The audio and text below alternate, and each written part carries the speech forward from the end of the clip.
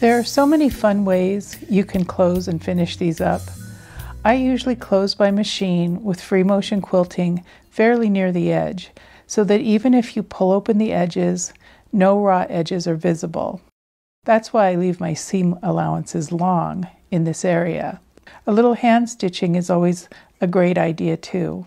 Here's how I close the big brown leaf using my interior serrations to help secure the edge. A little free motion quilting. I knew I was planning to paint this edge as well. Now I want to point out what's going on with all of these on this green Monstera leaf. I fused the Peltex to the colorful fabric originally, but then I pulled it off and I wrapped the green fabric around and fused it instead. Then I got the colorful layer as neatly as I could. It's this switching which is fused that can create a little bit of puckering in the corners. But because you've trimmed most of your seam allowance down to 3 16ths to an eighth of an inch, you should be able to get this to look pretty neat. Instead of free motion quilting this one, I'm going to stitch around this complex Monstera leaf with my edger foot, which can be a little dicey on some of these tight curves. This kind of stitching is super slick and precise if you're going around an oval or an oblong shape or rectangle. And I'm gonna, I overlap, but I end with these tiny stitches so that I just, I don't have a ton of back stitching all over in the same place, okay? Okay, so this will flatten out when I iron it. Peltex loves the steam iron. And uh, I've got a little show through. I could get paint on that if I want later. And then I'm just going to show you, see it's pretty close to the same size. It's, it's a little bit bigger because I stitched a little bit past the Peltex. But anyway, um, these areas, I'm going to draw those and I'm going to kind of exaggerate them. And I'm going to do that on all four. Kind of plan that. All right.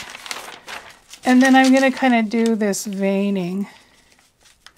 I'm just going to kind of come down through here.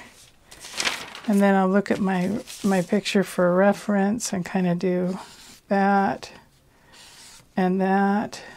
I can make this leaf veining show up with either paint or with thread. And this has enough light and dark that I'm going to do it with paint, which I can do like in a very light color. And so what I'm planning to do is paint two colors. I'll mix them a little bit, but basically these areas I'm going to paint kind of a brown, bronze, and I might do uh, some of the edges as well. We'll have to see if I feel like that when I'm doing it. But then I am going to paint in my veins, and so they need to be wide enough that you can easily paint in those. I'm just going to do these areas first, these four areas. I'm going to do these four areas first, and then I'm going to come back and do the veining sort of all together. And so you'll see that right now. Okay, when you free motion quilt, it's never a bad idea to pull up threads, even when you're so near the edge like this. We're, that's what we're doing. We're going for nearly perfect, and we're going to try to do it in a way that it seems pretty darn perfect. But we're imitating nature, which is sinuous and flowy. We're not in, in imitating uh, geometric shapes.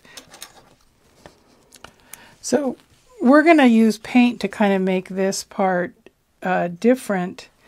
And I have a dark table and my glass table. I think there might be shadow under. I don't know.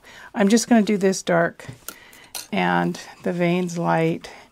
And with other uh, subject matter, you can use an area that you don't want to cut out and just paint it darker or in some cases lighter to sort of create that detail without having to actually cut into your area. It's like a stencil where you alter. Now, when you're quilting, it's very important that you don't do a lot of this and then quilt onto it because that's going to contort things more. I find it's better if you are hitting your throat, you're hitting this, and I have my light stem back here and I have my thread take up and I've always got other projects in the back here.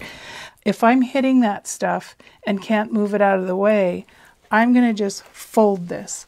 I find that that makes less contortion near the needle than doing this. I like to, even though I do this a lot when I'm quilting batting, I don't like to do it lift up like this with the Peltex. Don't lift your Peltex, fold it. And then did I just lift it? Okay, this has a little bit of did I just do the opposite of what I meant to do? I'm just stitching fairly wide veins. Sorry I didn't move the camera back over, but this is fairly easy quilting. If you can quilt, you can do this. If you can't quilt, you could straight stitch this. It might be helpful to flip the piece over and straight stitch the fused side. You'll have to redraw your veins on that side. All right. So I've pressed this with steam and look how nice and flat it is now.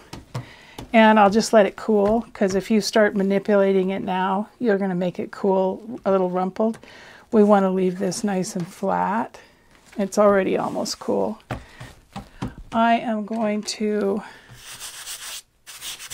get some of that chalk off there before I paint. It doesn't really matter, but Next, I set up in a sunny room to do my painting. I've covered this before, so I'll go pretty fast. Let me know if you need more. I like these Jacquard Lumiere fabric paints. They need to be heat set to become permanent. I thin a little with water so the paint sinks in, but it shouldn't be runny. Runny may actually heat set, but it will likely flood through to your backing. I enjoy this work, but it takes a long time. It took about 40 minutes to do this. It'll be finished after tomorrow, when I heat set it, I'll follow the manufacturer's instructions and provide some ventilation by opening the door in the window in the sewing room.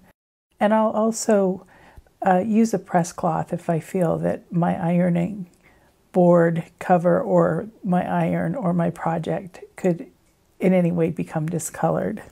After I finished and I put everything away, I decided this gold was too garish. So I came back and toned it down by overpainting with some of the bronze paint. Here it is. I think this one is finished, but let's look at some of the others.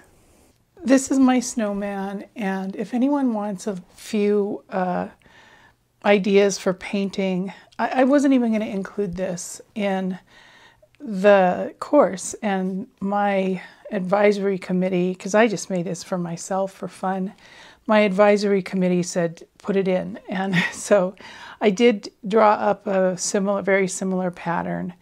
And i traced the snowman and then i just used the uh, text and shape tools to make the other parts. But anyway this is all quilted. I quilted every one of these elements and uh, then painted them. And if anybody wants some thoughts on painting this and how I did it, I marked mine with the um, water soluble ink and I had to wet some parts over and over. And you can see there's still some of it on the back that has to be re-wet. And you can see where I kind of went towards a watercolor with my fabric paint. I have a little bit of bleed through from the front. So my main comment is don't work too wet, which I did sort of here because my green paint is practically dried up. But um, let me know if you want more on that. Most of my leaves have free motion quilting between the veins. And here it really gets lost because of the color. You can barely see it. But here, if you can see that in this light, I really like how this yellow quilting looks. I also really care for this yellow quilting on this uh, off-white fabric that's sparkly. This one I skipped it. I didn't want to distract anymore from the cute print and I wanted the cute print to show up.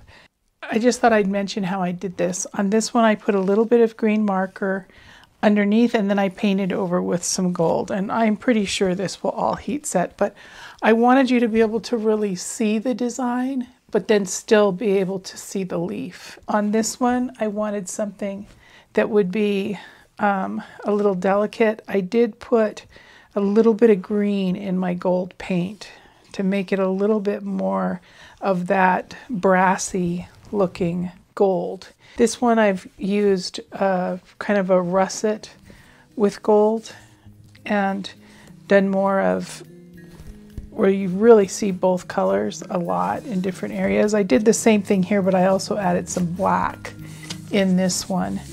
Thanks.